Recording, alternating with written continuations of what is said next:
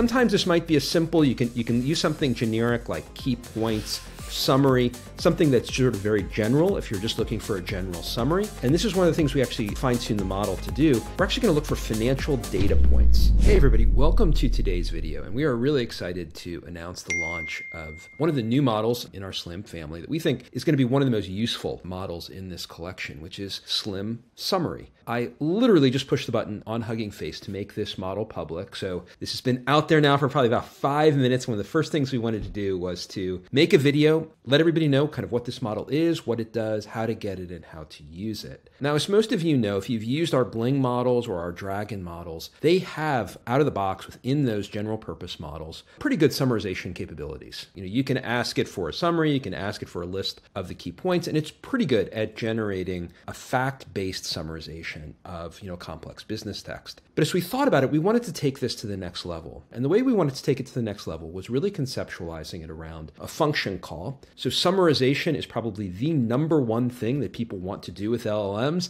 Look, I don't want to read this long text. Let me throw it into the model. Give me a summarization. Give me a summary. Summaries typically consist of lots of bullet points, lots of numbers. There's other ways that we try to split to try to get some view of all the content that's in that summary. Well, we wanted to conceptualize this as a, a small specialized function calling model that does one thing and one thing really well, which is summarize. But then we wanted the output, instead of being just a big blob of text with all these bullets and other things we have to figure out how we navigate through, just output a Python list, a list of points, each point being a string, and then leave out all that other stuff so that we can easily see how many points we've just received in our summary, and then we can start concatenating it to aggregate into longer summaries. And then as an experimental feature in this model, we've created a parameter function. So you can start to think about, I'm going to call my specialized function call on Slim Summary, and I'm going to guide it to say, give me five points back or three points back, and then give me actually that list as an output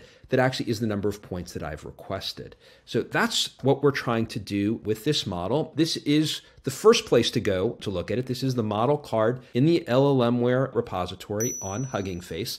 As usual, we're actually going to do in our demos is this is the PyTorch version of the model. We're actually going to use the tool version, which is a, a GGUF 4-bit quantized version of the model.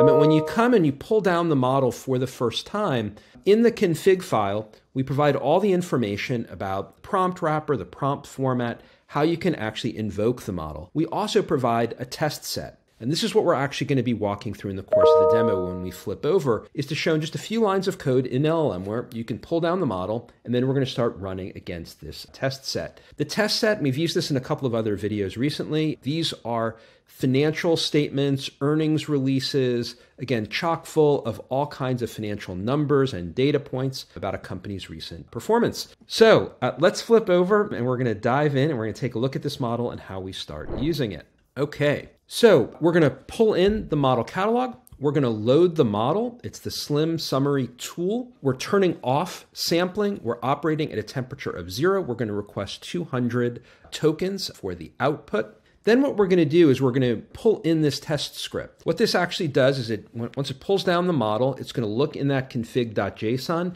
if a test set of files are there, and they are going to be there when you pull down this model, we're going to pull that in as a, a JSON dictionary. And then what we're going to do, the real heart of the demo, is we're going to iterate through that set of test samples. We're going to do a function call on our model. We're going to pass in that context passage that we want summarized. Our function is summarize. And then the parameters, and I'll spend a minute on this. The parameters are words that you want to use to guide the model to perhaps some point of interest or point of view within a passage. Sometimes this might be as simple you can you can use something generic like key points summary, something that's sort of very general if you're just looking for a general summary. And this is one of the things we actually fine tune the model to do. We're actually going to look for financial data points. We want to look at this not just out of curiosity, we want to see what are the key points that are related to kind of the financial data points within this text. And then this really interesting thing, as I mentioned, one of the experimental features, and it's something that we're continuing to develop and, and expand upon, is you actually pass the number of points and what we're guiding the model to is provide us an output list of a summary that actually corresponds to a list with a length of that number of points.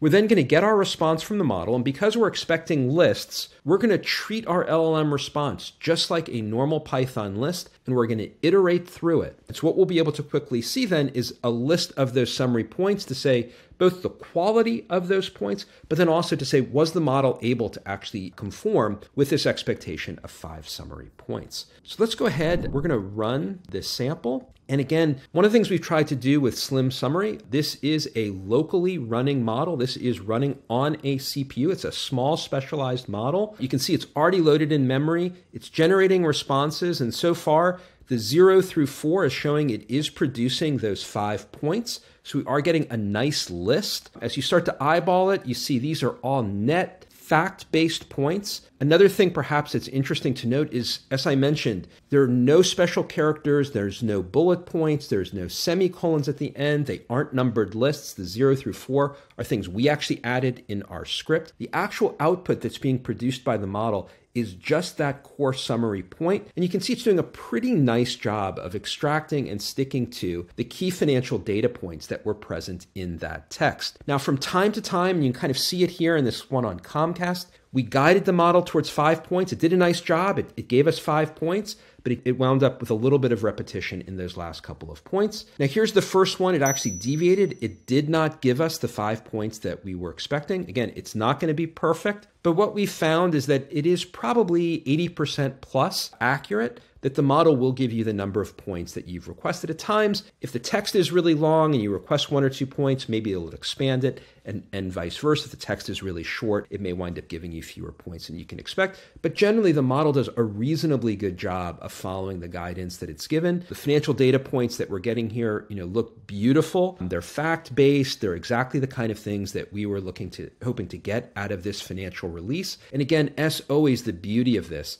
this is a small specialized model that is running entirely locally. We didn't have to engage in a really complex prompt and write, you know, give us this and don't give us that and show us this. Really, really simple. Give us the financial data points, give it to us in a Python list of five points, give us a nice fact based summary all uh, clipping at a reasonable level. I wouldn't say it's blazing speed, but a reasonable level running on a local machine. Um, now, one caveat I do want to mention this is something that we've built into LLMware that is happening behind the scenes. When it gets that output from the model, you can actually see the response. It's pretty well formed as a Python list. But quotation marks can be a real problem in any type of AST literal conversion of it. So, what we've put into LLMware is just a rules based remediation script that does fix any of those issues in the output. And again, you can see worked pretty smoothly in terms of giving us the kind of output that we were looking for. But we do want to highlight that. So if you try this self-service, you try to use AST, you know, literal eval on some of these outputs, we found that from time to time you are going to get a fail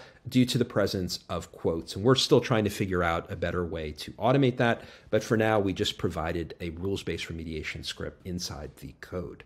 So Pretty cool, right? This gives some nice, really net summarizations. And again, one of the beauties of it, if you have a really, really long document, chunk it up, break it up into a bunch of different pieces, and then the way that this output, this summary output, it becomes really nice and easy then to start concatenating it and aggregating it into a larger summary. Now, I mentioned um, five points. The other thing that you may want to do, and so I want to just show you a very quick example, is you might say, you know, I, I kind of think I just want one point out of this. What we found, usually if you want one point, the best way to do this is provide that parameter guidance of a brief description. So brief description with one point. Again, we'll do another just sort of quick run so you can see another sample of how the model works. This time, again, we're looking for just one summary point. And so now here we go. You can see the model maybe cheated a little bit here. It's a long summary point. It's not like one short net point, but it is giving us programmatically what we would actually expect. We asked for a single point,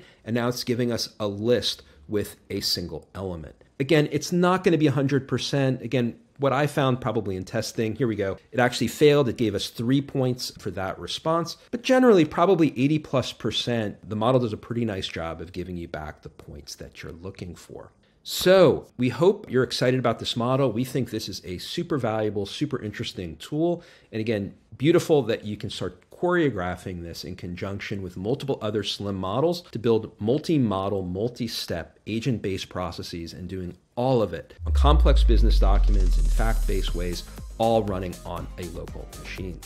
So, all these examples are in the LLMware repository, so go check them out. Any questions, issues, if you're excited, want to talk about this, any ideas you have about how we can continue to evolve the model, as always, come check us out on Discord. Thank you, everybody.